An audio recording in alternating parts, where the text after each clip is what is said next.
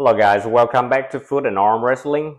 Today I'm gonna share with you where do I get my boneless beef ribeyes only $7.99 a pound and uh, it's USDA choice.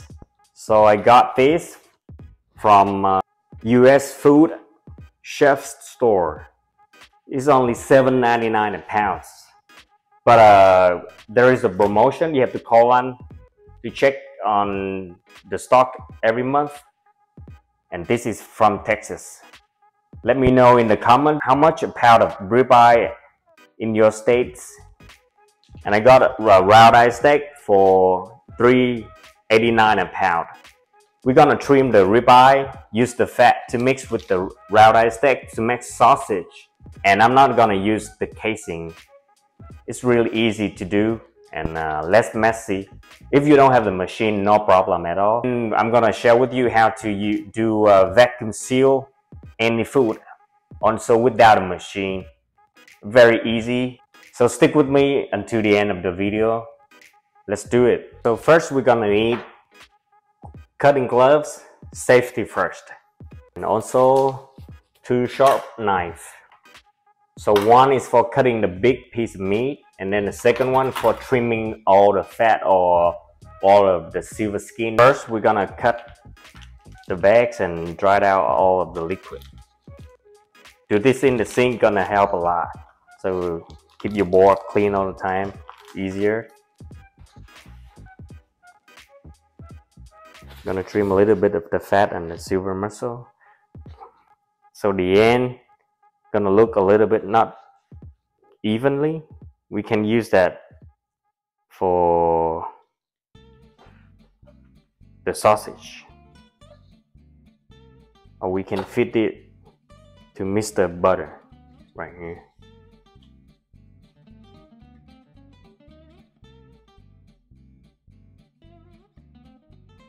This has a little bit of trimming to do, but not a lot. Just remove all of the silver muscle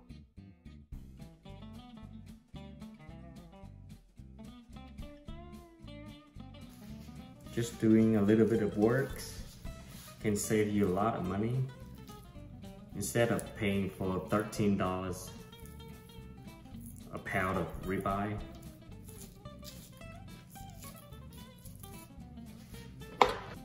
There is an easier way also that you can put them in the freezer the whole piece in the freezer about 30 minutes. So the meat gonna stay firm and easier to cut. Let the knife do the work. When you work with meat, if you have room, you turn the meat.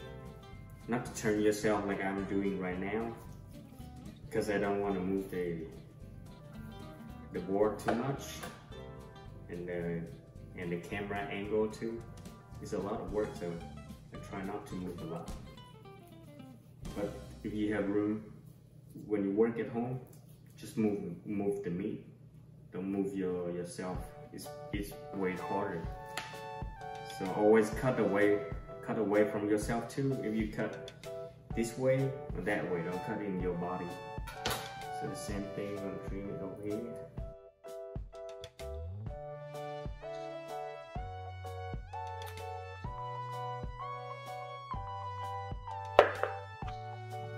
please subscribe and like uh, my video for more contents I'll try to put more out more of the cooking video also. If you want me to cook anything please leave a comment a like and subscribe. All the beef fat gonna be used. Nothing gonna go to waste. Because the thickness of the steak is different. So I trim I trim the fat one by one to save a lot of the meat on it. Is the fat that we can use for the sausage.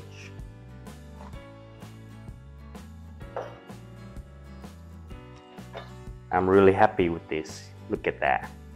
Look at that. Beautiful ribeye. See that? I'm really happy with it. Really happy.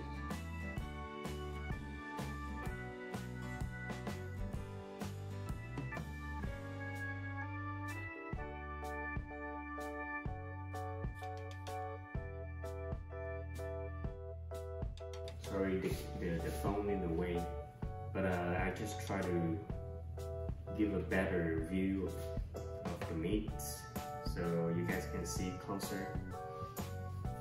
I think about buying a camera but it, I'm gonna drop it many times so it's not a good idea. I stick with the phone. So here the simple way to uh, vacuum seal any of your protein or vegetable. Use ziploc bag put the, your ribeye in there. So I'm gonna dip it in the water. And the water pressure gonna push down all the air of the steak close it close it all the way here. Here and then leave a little gap. Like right here. Push down the whole ziploc bag and then close the rest of it. Perfect uh, vacuum seal any food without a machine. Using uh, plastic wrap is less expensive. I'm just showing you the way that uh, to vacuum seal food without a machine. So for the sausage uh, without a casing, we're gonna need the uh, mixer and the food processor. So I'm gonna make a beef paste with the food processor. So it, it bind everything together without adding breadcrumb or eggs that uh, uh, it's gonna turn to a meatloaf instead of sausage. I want it's 100% meat only and the paste to keep the sausage, when it cooks, keep sausage stay together and all of the, the minced or the diced meat not falling apart. And the fat, gonna add extra flavor in there. With testing this with different ratio, the ratios of fat and the trimming and the lean meat to, uh, to get the perfect uh, sausage texture. So first we're gonna dice all of the uh, eye round steak in small cubes.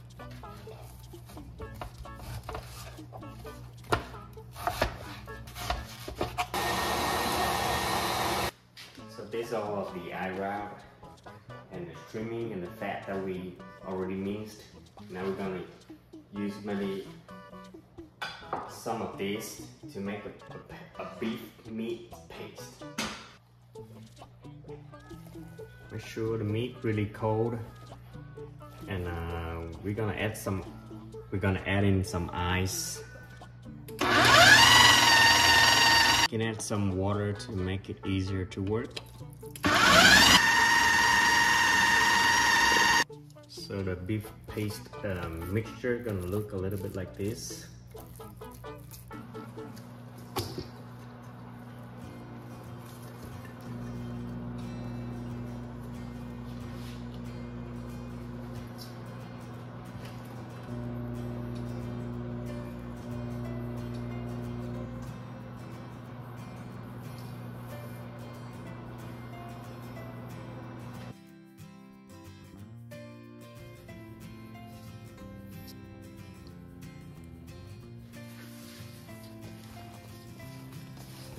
Is the sausage uh, mixture.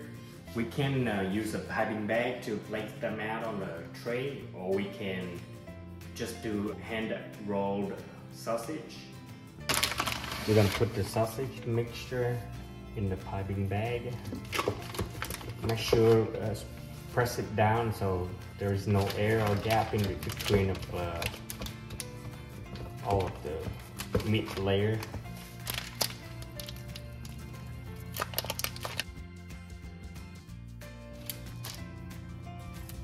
We just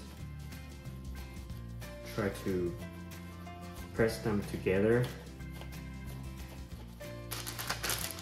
This way is much easier, less time consuming.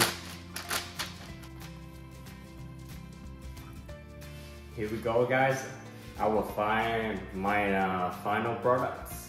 We're gonna freeze it, steam and uh, finish that in a pan or an air fryer.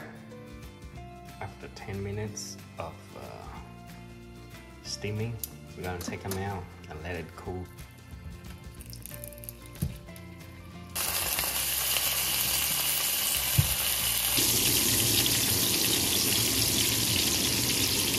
This is all the final products from the uh, ribeyes and the round eye steak. So we, we got our ribeye steak already uh, uh, already vacuum sealed and we have some leftover of the uh, sausage mixture. You can use that to stuff your bell pepper or jalapeno. And we also have some fresh ground beef for enough supply for butter for two weeks because we cook for him. Come here. Sit. Good boy. Give him a thumbs up too. he has been my uh, assistant for the whole time. So we also have some uh, steamed sausage that we didn't uh, fry up. I fried some over net right now. I'm gonna do a taste test right now. It's not too bad. When you go to the, the, the US Foods chef store, remember to call ahead to make sure that their promotion is correct. You also can check that on the website also.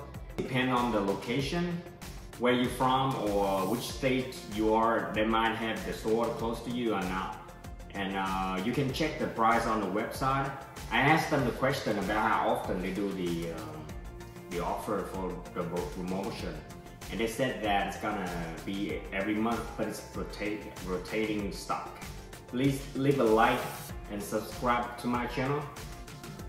If you have any comments, to let me know which part of the videos that you like and which part you think I need improvement on it, please let me know in the comments below.